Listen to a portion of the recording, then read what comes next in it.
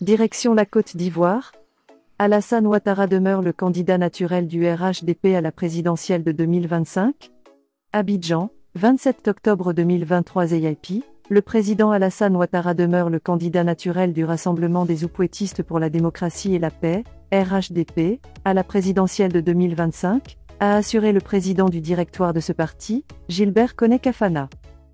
Kafana Koné a fait cette déclaration jeudi 26 octobre 2023 à la rue Le Pic, à Abidjan, lors d'une conférence de presse sur le bilan des récentes élections locales et la situation sociopolitique en Côte d'Ivoire, dont le remaniement ministériel. Le président du RHDP demeure le candidat naturel à l'élection présidentielle de 2025. Être candidat, c'est une volonté personnelle d'abord. Nous sommes à plus de deux ans de l'élection, une telle question vu qu'il est à mi-mandat ne paraît pas appropriée, a indiqué le président du directoire du RHDP. Il a assuré que son équipe est disponible à travailler pour la victoire du parti.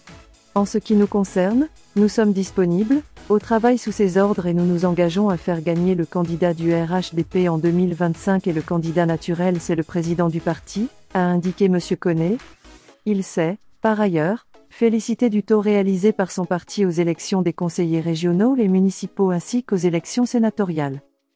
Cette performance traduit bien l'adhésion des populations au bilan et au projet de société du président de la République. Ces résultats sont le signe des changements de mentalité de nos concitoyens, qui s'attachent aux actes et aux résultats des politiques publiques, a relevé Gilbert Cafana.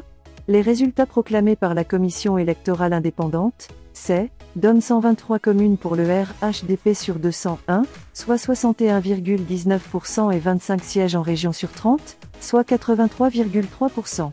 Pour le président du directoire, avec 20 nouvelles communes et cette nouvelle région conquise, le RHDP a consolidé son leadership.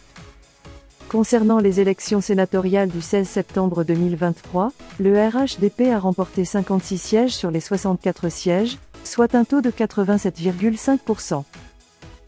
Le directoire a adressé ses vives félicitations aux chefs d'institutions promus, ainsi qu'aux ministres membres du directoire qui ont été reconduits dans le gouvernement conduit par le premier Robert Begremambe, a commenté Gilbert Connet. Le vice-président de la République lance la cérémonie officielle de l'ACGESI. À l'occasion, le vice-président de la République a officiellement lancé la cérémonie d'ouverture de la 11e édition de la Confédération générale des entreprises de Côte d'Ivoire, GESI, Académie. Le thème autour duquel gravitera cette prestigieuse édition est La croissance durable des entreprises en Afrique, cap sur la compétitivité.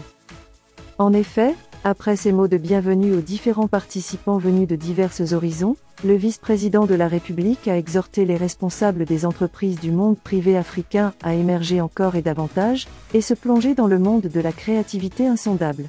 En outre, dans le but de faciliter la tâche aux entreprises à relever les défis de la compétitivité, il est indispensable que ces dernières bénéficient d'un environnement très favorable.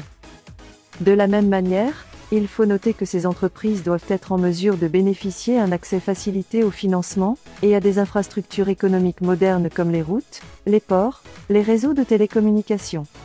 Dans la même foulée, le vice-président Tiemoko Melie a salué le patronat ivoirien, le partenaire de premier degré pour ses soutiens de part et d'autre dans le développement économique du pays. Il regroupe plus de 3500 membres, qui génèrent environ 40% des emplois formels, a-t-il précisé. Pour rappel, cet événement prend fin le vendredi 27 octobre 2023 à Abidjan.